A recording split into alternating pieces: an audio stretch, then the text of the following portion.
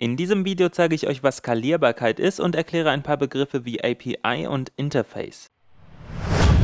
Momentan funktioniert die Datenbank, die wir in den letzten Videos geschrieben haben, so, dass wir ein Array haben und da sind Objekte drin mit dem Namen eines Schauspielers oder einer Schauspielerin, dem biologischen Geschlecht und dem Geburtstag. Hier ist jetzt gerade nur ein Objekt zu sehen, aber ich kann in unsere Datenbank natürlich noch eins einfügen und noch eins und noch eins und noch eins und noch eins und so weiter. So können wir unsere Datenbank füllen. Aber seht ihr hier etwas, das sich ständig wiederholt?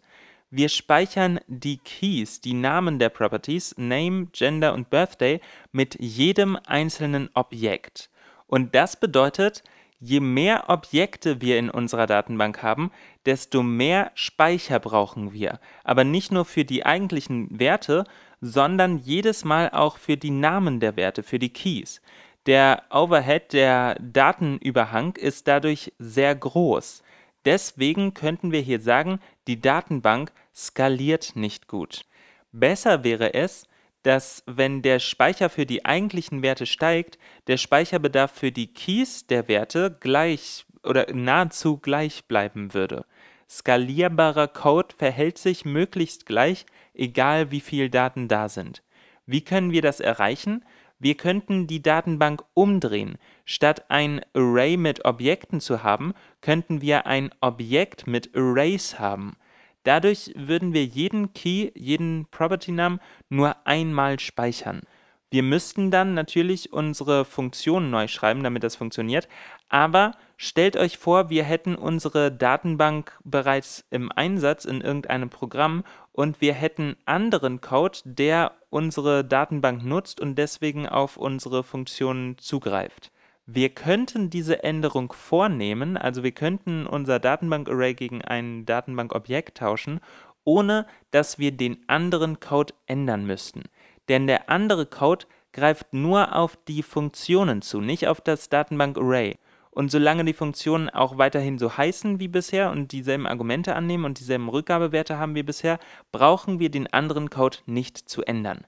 Das nennt man Abstraktion. Wir kapseln dadurch Komplexität ein oder auch wir verbergen die Komplexität, denn dem anderen Code ist egal, was im Innern der Datenbank vor sich geht, dem ist egal, wie sie umgesetzt wurde, ob da nun ein Array ist oder ein Objekt oder sonst was. Er kommuniziert nur mit den Funktionen. Die sind die Schnittstelle der Datenbank. Also eine Schnittstelle ist der Punkt, wo zwei Sachen, zwei Entitäten miteinander interagieren. Schnittstelle heißt auf Englisch Interface. Wir könnten dieses Interface auch als API bezeichnen, API, als Application Programming Interface, eine Programmierschnittstelle. Das ist die quasi öffentliche Schnittstelle, die man zum Programmieren nutzen kann. Wenn man eine Bibliothek oder ähnliches einbindet oder auch eine Datenbank, wie in unserem Fall, dann gibt es verschiedene Funktionen, die man nutzen kann und nutzen soll, um mit der Bibliothek oder Datenbank oder so zu arbeiten. Und das ist die Programmierschnittstelle, die API. Und alles andere, alles was im Innern vor sich geht, das soll einem egal sein. Das kann sich auch ändern von einer Version zur nächsten, wie jetzt hier gerade. Da soll man einfach die Finger von lassen. Das ist privat quasi. Wir können unsere Datenbank als Modul sehen. Das heißt, das ist dann die API von unserem Modul. Dadurch, dass wir den anderen Code nicht ändern müssen, ist das wiederverwendbarer Code, reusable Code. Das sind alles verschiedene Begriffe, die man mal gehört haben sollte, die man kennen sollte. Ich habe das Ganze natürlich jetzt hier im Kleinen demonstriert. Eigentlich spricht man erst bei wirklich größeren Sachen von API und so und eigentlich ist auch Skalierbarkeit komplexer, als ich das jetzt hier gezeigt habe.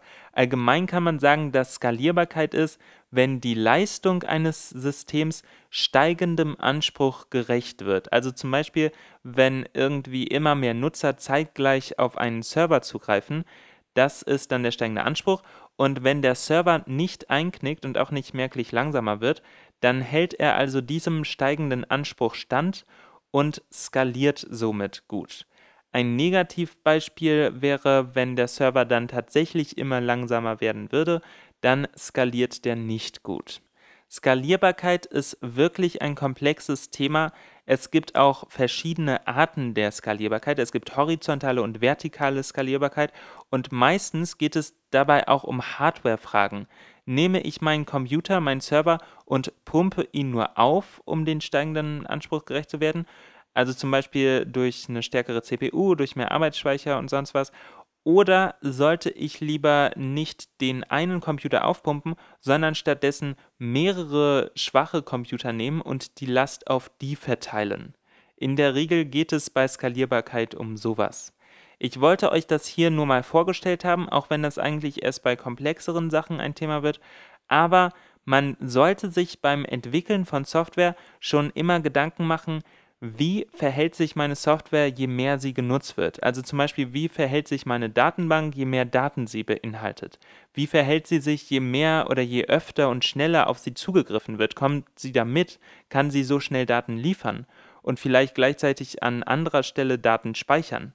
Wie verhält sich meine Web-App, je mehr Leute sie gleichzeitig nutzen und, und, und. Ihr habt nämlich gesehen, man hat immer mehrere Möglichkeiten, etwas umzusetzen. Wir können unsere Datenbank als Array umsetzen oder als Objekt oder natürlich auf ganz anderen Wegen. Üblicherweise basieren Datenbanken nämlich weder auf Arrays noch auf Objekten.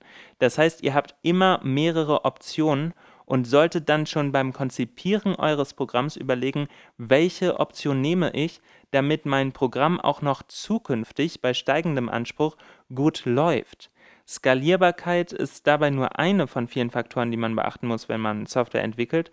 Also daran seht ihr auch schon, wie komplex diese ganze Sache ist. Ich werde jetzt diese objektbasierte Datenbank nicht umsetzen. Ich wollte euch nur zeigen, dass das gehen würde. Im nächsten Video zeige ich euch, was Vererbung ist und wie Vererbung in JavaScript funktioniert. Um das nächste Video zu sehen, klickt jetzt hier in das große Feld in die Mitte oder falls ihr dieses Video hier in einer Playlist seht, zum Beispiel bei css3html5.de, bleibt einfach dran.